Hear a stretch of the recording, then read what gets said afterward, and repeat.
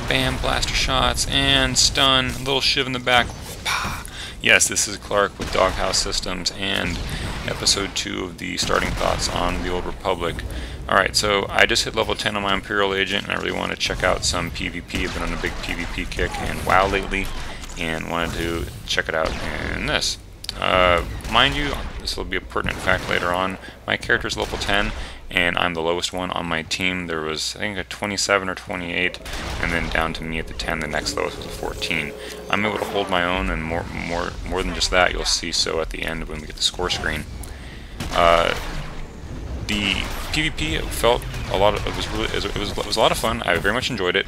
The combat was fluid in the sense that I enjoyed it so much not because of the design of the battleground, but because the class design makes fighting fun. I like the Imperial Agents feel and uh, am just loving this. The map itself is kind of, again, pardon me with all the... Oh wait, I'll get back to that in a minute. So uh, when you die and you resurrect, it's instantaneous.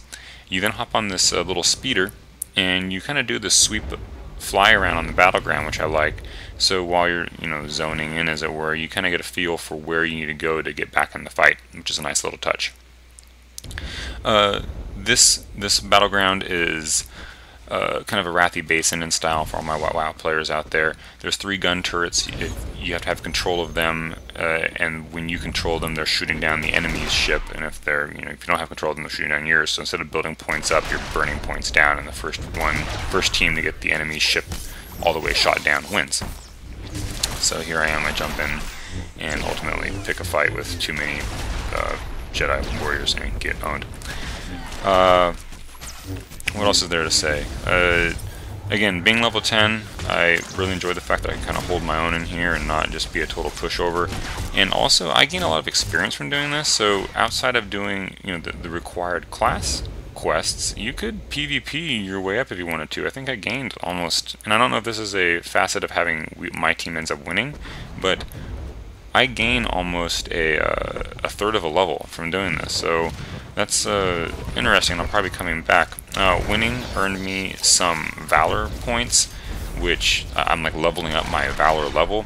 And as I level that up, I will be able to buy PvP gear. Now, I don't I don't know much more than that. i am coming to this pretty naive. I'm enjoying learning the game uh, organically as opposed to hopping on a website and just reading everything I ever need to know.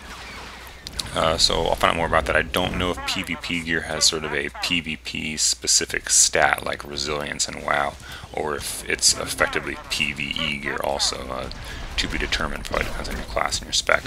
I hadn't even done my class specific quest to go Imperial Agent Operative. I was still just a general agent. I hadn't, you know, chosen my advanced class yet. I hit 10 and uh, ran off into this. So the match is almost over. I kind of just show you some video here as I come up on the gun battery, and it looks really nice. We're going to do a fade in. Here, there's the gun battery shooting, and we're about ready to win. Uh, by the way, while I burn a moment here, the next video is going to be on crafting, so I just got into that. So stay tuned for video 3 and not, not too much longer. Alright, so here we go. We win. Bam. Now watch this. So, yay, we win, and I get this uh, achievement for having done PvP. And I pull up the score screen. I sort it by kills, Look at that. I am tied for second place, and I'm by far the lowest level person in the match, which just really stunned me. So they have some sort of balancing going on because no way could I have been that good if this was World of Warcraft. So I really like the fact that PvP is viable because they don't split out by level. Alright, thanks a lot. Stay tuned. Bye.